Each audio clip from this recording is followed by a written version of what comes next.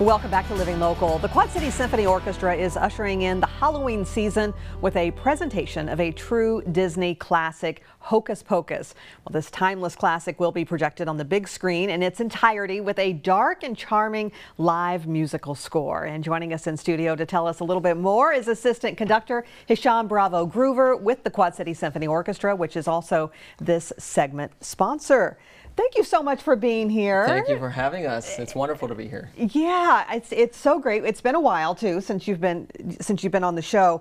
Let's talk about the orchestra. And you guys have been presenting films and concerts for seven years. We have. That's a long time. So remind us how these live to film concerts work.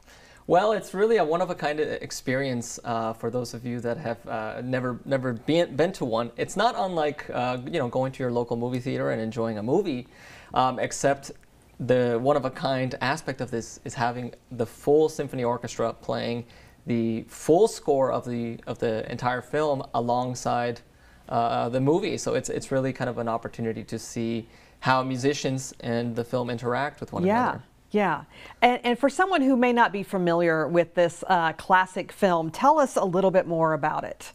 Well, as as you kind of mentioned, it's, it's Disney's Hocus Pocus uh, from 1993. It's kind of a it is kind of a cult classic at this point. Um, most folks who grew up in that era know it, uh, but for those of you that don't, in short, it's just the story of a teenager from LA who has just moved to Salem, Massachusetts and he accidentally uh, summons back three witches uh, who have been kind of sleeping for 300 years. Uh, and they're out to kind of uh, create a potion of youth, of immortality, um, and you can imagine the adventures and the chaos that yeah. ensue after yeah. that. Yeah, yeah, yeah. and that's where the orchestra comes in to really make it dramatic, right? well, and, exactly. And I mean, all the all the the both the tender moments of the movie and the kind of the uh, agitated yeah. and exciting are just enhanced by yeah. the, the soundtrack, uh, John Debney's uh, music. Yeah, for sure. So, what do you think that makes these concerts such a special experience? Oof, so many aspects. uh, certainly for us, it's kind of the whole the whole package of what we do. It's not just the the film and the and the music, but it's kind of everyone, all the ch- children coming dressed up as you know their favorite witch or, or the cat or whomever may be. Uh, the pre-concert activities that we have, I know we'll chat a little bit about yeah. that later. It's just uh, a really, again, one-of-a-kind experience that, that yeah. is unlike anything, unlike going to your movie theater. Right, right, definitely. So give us the details on when and where this concert will take place.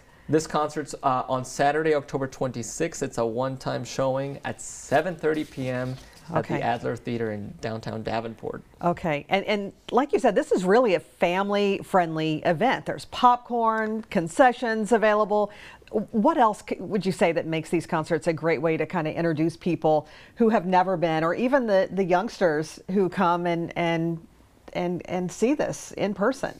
Well, it's so immersive and engaging, especially for children. Of course, it's, it's a Disney movie, so there's that aspect yeah. of it but for them to just be uh, visually kind of engaged with the movie, but also right below the, the screen to see the full orchestra yeah. playing, and again to see how the musicians interact with that, it's um, really eye-opening for I think for many kids to know that there's an actual orchestra that records the music yeah. to, to to these films that yeah. they watch. So and so then when they do go to a regular movie theater, they you have know, that in mind. They have that in mind, and they, they really pay attention, I think, and listen for that. Exactly, but and also in our in our case, you know, to for example, so there are some beautiful piano melodies that occur in Hocus Pocus, and to see the pianist themselves playing that is is, yeah. is just makes it a little bit more uh, of a uh, connected uh, right. experience. For sure. In addition to the actual concert, the QCSO is also offering a pre-concert trick-or-treat experience. I love this. So give us the details and what folks can expect. Well, that'll be happening in the lobby uh, that's connected on the River Center Plaza there um, okay. beforehand. So around 5:30 p.m. is when this starts,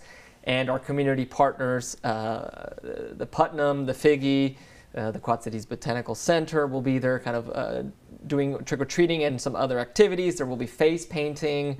Uh, of course, kids dressed up. It's just going to be yeah. a, a, ruckus of fun, essentially. I love that. And where can people get tickets for the Hocus Pocus concert and for this experience? I would recommend going to our website uh, at qcso.org okay. to find tickets. Of course, we will also have tickets at the door uh, uh at the box office there. Okay. And you know, these tickets are really affordable too. Yes. I mean, Yeah, you know, I- compared to you know going to a regular theater. But th- you know, you get so much more out of this. You do get so much more. It, it like I mentioned earlier, it's really an immersive and shared experience because you're with all these other folks who Yeah. are just so excited to see uh, the 1993 film come yeah. back to life. so. Yeah. For sure. Well, it has been a, a real pleasure. Thank you so much, Hisham, for coming in today. Brandy, thank you so much for having us. And for more information, you can visit qcso.org. We'll also have all those details posted on ourquadcities.com.